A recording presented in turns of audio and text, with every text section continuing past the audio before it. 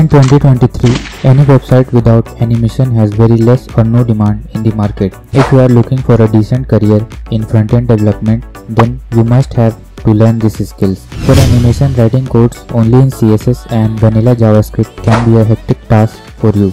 There are multiple of libraries that are already been created and available on internet that you can use and make better websites in less time. One that we will discuss today is AOS Animate on Scroll.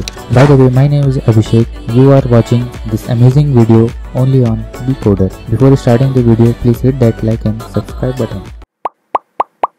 So here I have already created a simple web page by using the Bootstrap 5 and here you can see while scrolling right now we don't have any animations on it.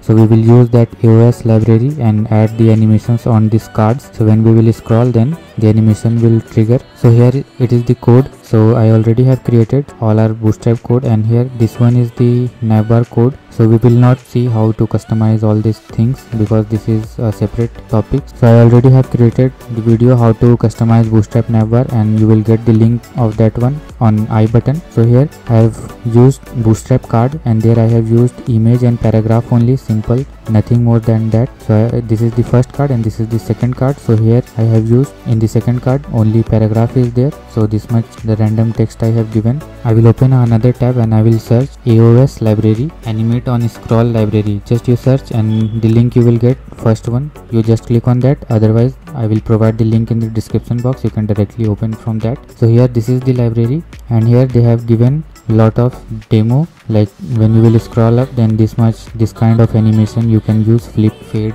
zoom in zoom out zoom from right side zoom from left side. Now let's see how we can initialize this in our bootstrap project. So here at the last we will go and here you can see their cdn sources are given. So first is css then javascript. We will copy the css code and we will paste here in our head tag and again I will go to the website and I will copy the JS code and JS, JS link and I will paste this one at the last of the code. Initialize AOS written. So at the last we have to initialize this. So I will copy this and paste here paste it here. So now our AOS library is initialized in our bootstrap project. So now we will use one by one we will see how animation we, we can add the animation in our uh, cards divs paragraphs wherever you want. So here you can see there is a data aos attribute like in there written. So we will copy uh, one and we will check it is working or not. So in the first card i will start from the first one. So here i will give enter and the div and i will paste that data aos zoom in right. So i will save it and let's see it is working or not will refresh. Now it is working on the reload but it is not working on the scroll. So to make it work on the scroll so that that animation triggers we have to write one more uh, data attributes. That is data aos anchor placement. So here we will write like top center bottom you can write. So i will write top center and now i will reload the page. So you can see now the first card is vanished and when i will i am scrolling up then it is coming and else it is uh, like it is not visible. So now it is working we can control the speed also. So there is a attribute data aos duration. So inside that we have to write like in millisecond like i am writing 3000 then here you can see how slow now it is working. If you want to make it fast or like medium then give 2000 then still it is now little bit faster. If i will give 500 or 100 then it will be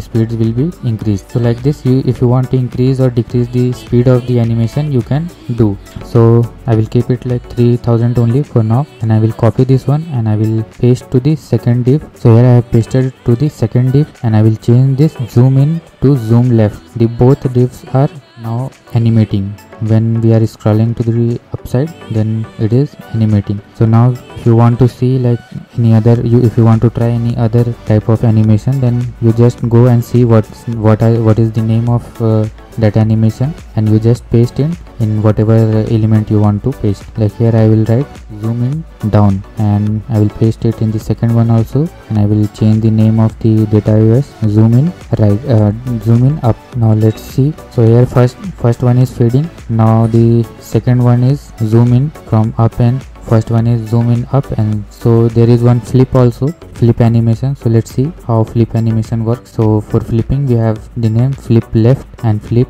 right. So here i am writing flip left and flip right. Now let's see. First row is working. Second row is also animating. Then third one we have added the flip one. So flip one is also working properly. So as you can see it is very easy. You have to do nothing. You just uh, copy that uh, css javascript and initialization code and then just copy and paste like data aos and whatever the animation you want to add. So now i'm using fade up left and here i will use in the second last one fade up right. So now you can see how nice it is looking. So if you enjoyed this video then please hit that like and subscribe button and see you in next video with any another interesting topic of web development